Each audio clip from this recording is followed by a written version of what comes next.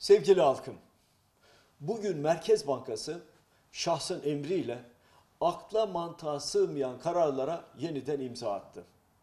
Bakın biz 128 milyar dolar konusunu halkımıza söyleyince bu sorumsuz sanayi avaneleri pankart indirme derdindeydi. En büyük dertleri çevirdikleri alavere dalavereleri kimse bilmesin, kimse duymasın. Açıkça arka kapıdan dolar sattılar. Birilerini çok ama çok zengin ettiler. Halkımızı da açlık sınırına indirdiler.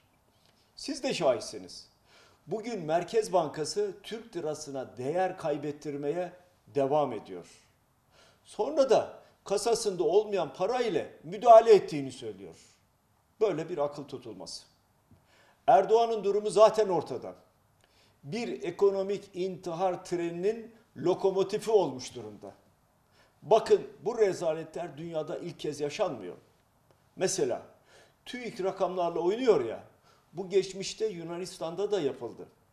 Avaneler gitsin bir baksınlar. Bu rakamlarla oynayanların sonucu sonu nice oldu.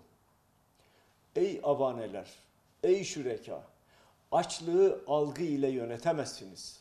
Karnı aç insanları algı ile doyuramazsınız.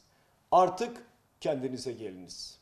Bu intihar yolculuğunda, bu trenden en yakın durakta inin. Benden size tavsiye.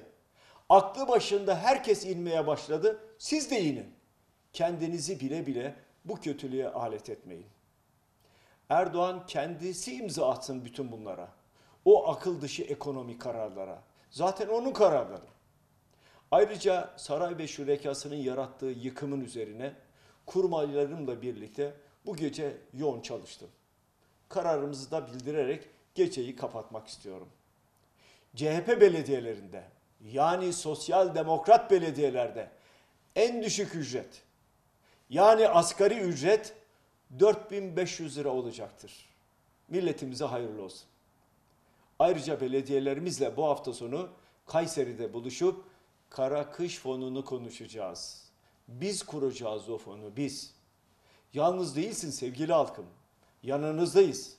Bu felaketi birlikte omuz omuza atlatacağız. Müsterih olun.